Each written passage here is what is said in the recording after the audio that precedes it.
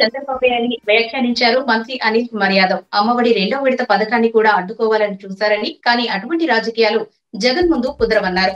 చంద్రబాబు ప్రతి విషయంలో కోర్టుకు వెళ్ళి అడ్డంకులు సృష్టించడం వల్ల చంద్రబాబు ఒక మహిళా ద్రోహిగా మిగిలిపోయారని అన్నారు. ఇప్పటికైనా చంద్రబాబు తన వంకర బుద్ధి మార్చుకోవాలని అన్నారు. స్థానిక ఎన్నికల్లో ఇరవై ఐదు శాతం సాధించకపోతే పార్టీ మూసేస్తావా అని సవాల్ విసిరారు. ఈ రోజు చూస్తే ఎన్ని కుటీర రాజకీయాలు మనం చూస్తా ఉన్నాం. మహిళలకు సంబంధించిన మహిళా ద్రోహిగా ఈ రాష్ట్రంలో ఒక సైంధవుడిగా ఈ రోజు మన ప్రతిపక్ష నాయకుడు చంద్రబాబు నాయుడు ఉన్నారని చెప్పి తెలియజేస్తా ఉన్నా. ఆ రోజు మన బిడ్డలు ఇంగ్లీష్ మీడియంలో చేర్చాలంటే కోర్టులోకి వెళ్ళి కేసు వేస్తాడు.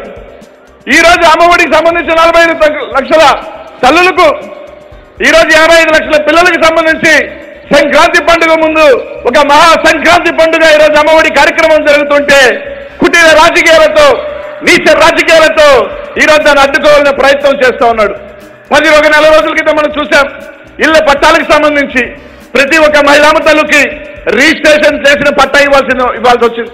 కానీ చంద్రబాబు నాయుడు గారు ఏదైతే కోట్లు వేయటం వల్ల ఈరోజు కేవలం ఒక డీఫారం పట్టాలకు ఇవ్వాల్సి వచ్చింది.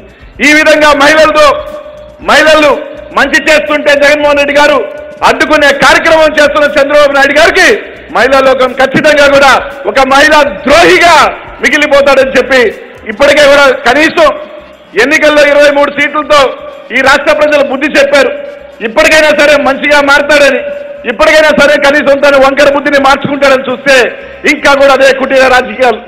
ఈ రోజు చెప్తా ఉన్నా ఇదే వేదిక మీద నుంచి ఆయన చెప్పాడు మొన్న నేనుండి ముందు నడిపిస్తాను పంచాయతీ ఎన్నికలని. ఇక్కడి నుంచి సవాల్ విసురుతా ఉన్నాం. చంద్రబాబు నాయుడు గారికి కానీ ఆ పార్టీకి కానీ రేపు ఎప్పుడు వచ్చిన ఎన్నికలు ఇరవై ఐదు శాతం సీట్ల కన్నా కూడా నీకు కానీ వస్తాకపోతే నీ పార్టీని మూసి వస్తావా అని అడుగుతా ఉన్నా.